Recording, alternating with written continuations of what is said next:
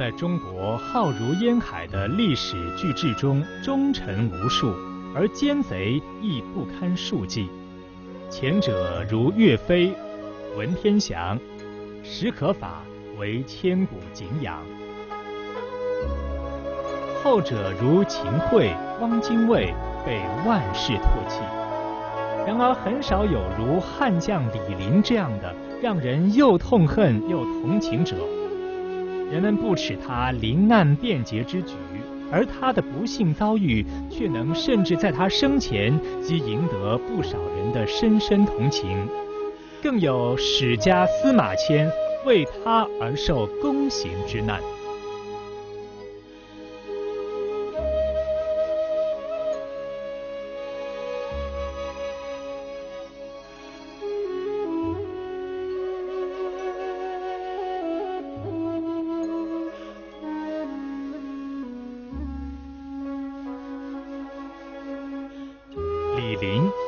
少卿，荣西成纪人，也就是现在的陕西晋宁南边人，是汉飞将军李广之孙，也是西汉著名的将军，在雄才大略的汉武帝时代登上了历史舞台。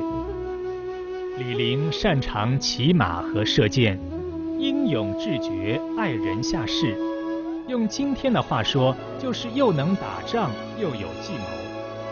做了皇帝卫队的军官后，对士兵非常爱护。公元前一零二年，汉武帝派小舅子二师将军李广利出战匈奴，召骑都尉李陵为李广利军押运辎重，负责后勤供应。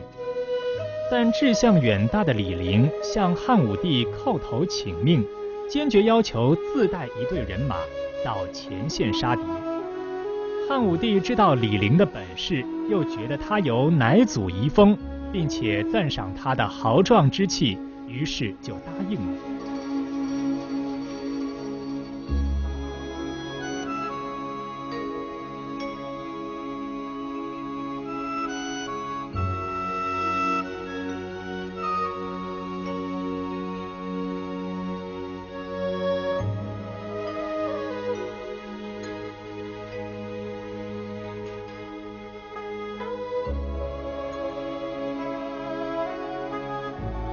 李陵带领五千名弓箭兵出发，出关以后，在大漠行军一个月，扎营巽基山，和匈奴单于相遇对峙。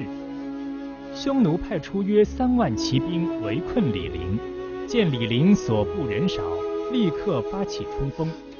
但李陵布阵有方，丝毫不乱。他用车围起来掩护，前队是长戟盾牌。后队是弓箭强弩和匈奴兵对抗，把匈奴打退，还追杀数千人。匈奴单于大惊，再召八万铁骑合众围攻，敌人十倍于己，且是骑兵。李陵的队伍抵挡不住了，一边打一边南撤，一路血战，在山谷、树林、山下等各种地形都曾激战。击杀敌军数千人。后来李陵他们退到一个大沼泽里，匈奴兵就放火烧，李陵命令士兵也在里边放火，这样就可以先把芦苇烧掉，等敌人放的火烧过来就自动灭了。这真是个聪明的办法。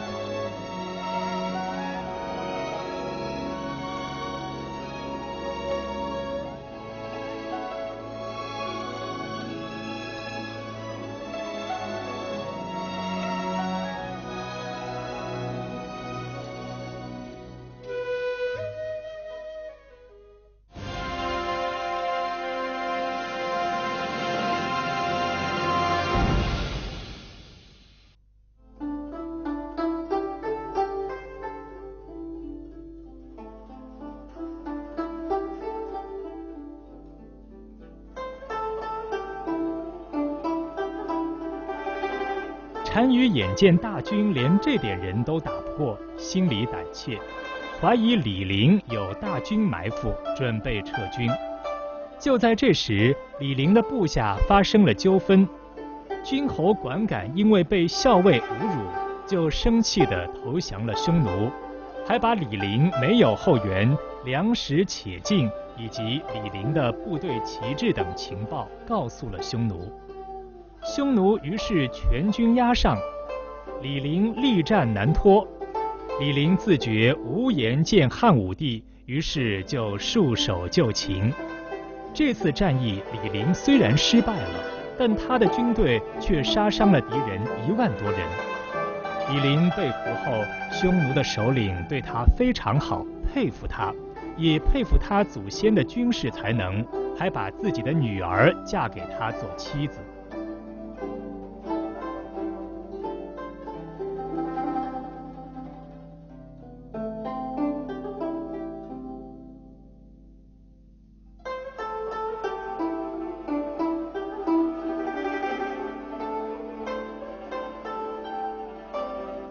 汉武帝本想李陵应该死战，得知李陵投降，勃然大怒，问太史令司马迁应该如何处置。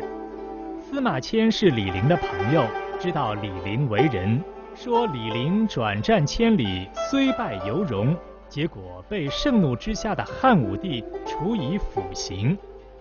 汉武帝后来也知李陵孤军无援，力有不逮。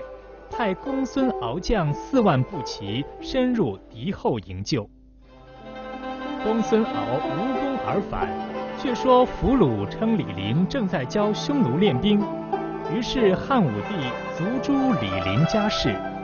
事后才知那人不是李陵，而是降将李旭。本来李陵自知惭愧，想王归汉室再行效力，但公孙敖怕汉武帝责怪。敷衍搪塞，以致汉武帝盛怒之下逐诛李陵全家，使李陵后路被革，李陵最后终死匈奴。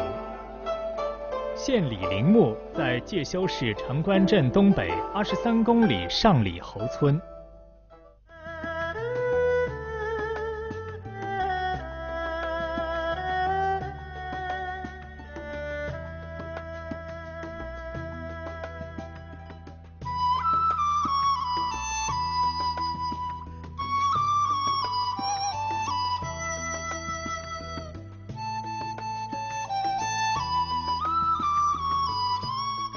如果李陵战死或自尽而死，他必已是垂范千古的民族英雄；如果李陵就此甘心情愿地做人奴才、为人驱使，如明末的洪承畴，那倒也简单。